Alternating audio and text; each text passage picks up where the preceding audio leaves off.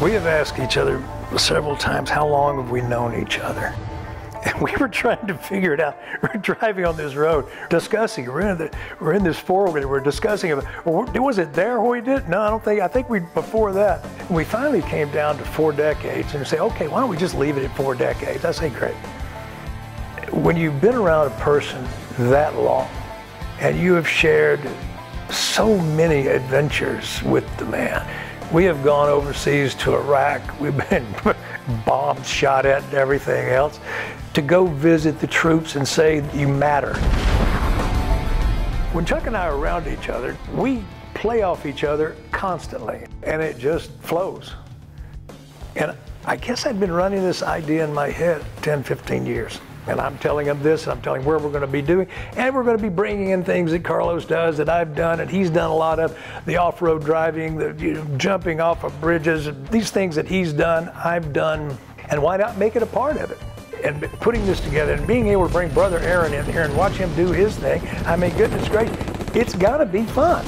He said, why don't you get a synopsis and a script together, let us see it, and let's see where we go He's one of the last American legends, and he is, and that's just a fact. I don't care who looks at it, what they say, or anything. He is an American legend, and he's got a legacy behind. That legacy is Kickstart, and that's because he works with kids, getting kids off the street into their heart and get their mindset so they can move forward in life instead of being locked down there. You know, there's 80,000 kids been through the Kickstart program. Yeah, 80,000 kids, and Many of those are corporate leaders. They run corporations. Chuck Norris and Kickstart gave them that chance. He's, uh, he's, I love him. He's, he's my best friend.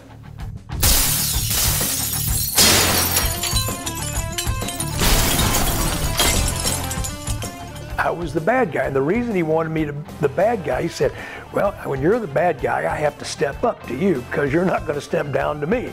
You're going to bring it. I know you're going to bring it. I mean, he said that one time. Why are we always staring at each other like this? I'm not mad at you. I love you. We should be side by side. I mean, we should be partners. We should be kicking butt together, taking names. Chuck said, Well, I like it. I said, Well, that's good. So do I. And Gena says, I think I like it too. We have been working together. I've been working with a very good friend, Kevin McAfee, and he and I have been sitting down and doing a power lift session with it, and it rolls. I've always wanted to work with you and with Mr. Norris together because there's such a legacy with not only Chuck Norris, but Aaron Norris and the entire family coming together, even Dakota. Let's wrap this and go do it. okay, let's make it happen. You got it. Thank you so much for joining us. Have a great time at the movies and God bless.